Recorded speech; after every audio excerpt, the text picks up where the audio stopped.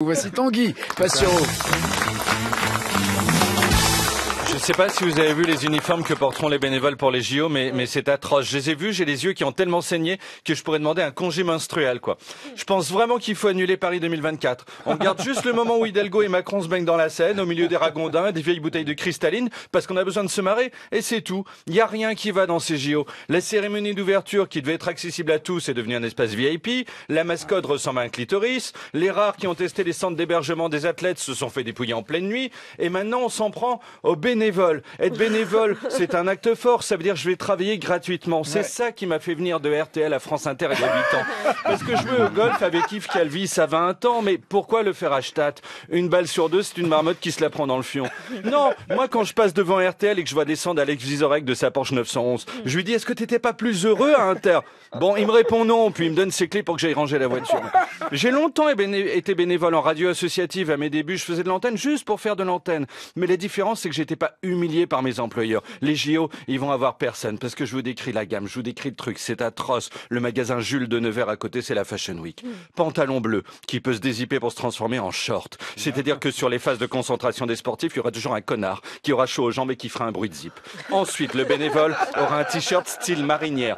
Hein, même dans les crêperies du Finistère, ils trouvent ça cliché. Mais pire, selon la presse, il s'agit d'une marinière revisitée. Le terme revisité, ça veut dire moins bien. Au resto, le plat revisité en général est dégueulasse. Et dans l'assiette, il y a rien. Vous portez, vous partez sur une choucroute en vous disant je vais me faire péter la panse comme un vieux porc.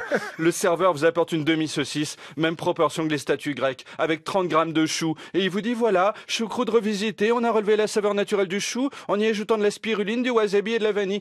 Bonne dégustation. Vous répondez bah ça y est, j'ai fini en fait. déjà la marinière, ça te faisait ressembler à Erwan Surcouf, le fils caché du chanteur du groupe Soldat Louis. Mais la marinière revisitée, tu ressembles plus à rien. Ensuite, par-dessus la marinière, il y a une veste sans manches à zip avec des poches explorateurs. Le bénévole va ressembler à un colon du 19e siècle. Il manque plus que le casque et la leçon de géo sur le puits de Sancy alors que le cours est à Bamako et on fait la totale. Si dans une équipe africaine, il y a un descendant d'esclaves qui a la rage, mais il va tuer un bénévole. Et enfin, enfin, j'ose à peine vous en parler, j'en ai l'élève qui tremble. Le bénévole sera affublé d'un bob multicolore. Un bob, cette aberration que portent en festival les mecs qui se prennent le plus de caisses. Personne de sobre n'a jamais porté de bob. Le bob, c'est l'accessoire le moins sexy de la Terre. En porter un, ça revient à castrer chimiquement tous les gens qui vous entourent sur une surface de 4 km. Les porteurs de bob sont tous puceaux. En Thaïlande, même Francis, qui a 54 ans, se fait démarcher par des touristes pensant qu'il est mineur. Le bob, c'est la fin de la dignité. Ça veut dire oui, j'accepte d'être le plus proche possible visuellement d'un champignon dans Super Mario. Ryan Gosling vous est fouté un bob, il finit dans Camping 4. Mais depuis samedi, jour funeste où la tenue de la honte a été dévoilée. Mais je pense qu'il y a plus de bénévoles. Ils ont fui à l'étranger. L'immigration s'est inversée. En Libye, ils voient débarquer des centaines de Français par bateau avec des banderoles. Plus jamais ça. Alors le nom du responsable de ce désastre, il faut citer, c'est Décathlon. Ces infâmes vendeurs de vestes polaires avec poche pour la gourde. Ce sont eux qui ont créé le kit de l'horreur. Il y a même un sac banane dans lequel le bénévole pourra vomir si jamais il croise son reflet dans le miroir alors qu'il porte le bob plus la marinière. Décathlon est parti d'une réflexion toute simple. Comment faire pour que le reste de la France soit aussi mal sapé que nos vendeurs? Et les mecs se sont transcendés. La France, c'était le pays du luxe, de l'élégance, de la mode. Là, le résultat, c'est qu'on va sortir devant le reste du monde 45 000 gugus déguisés en randonneurs bourrés. On a travaillé 18 mois, explique à Ouest France le directeur du design de Paris 2024, qui sera jugé devant une cour internationale. Ah bah oui, Évidemment, dès le lendemain des Jeux.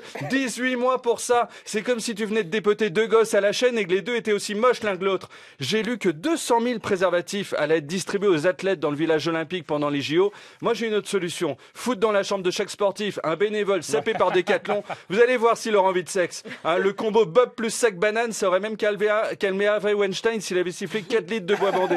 Mais vous vous rendez compte qu'un million de pièces vont être fabriquées par Décathlon. Tous tissus pour rien.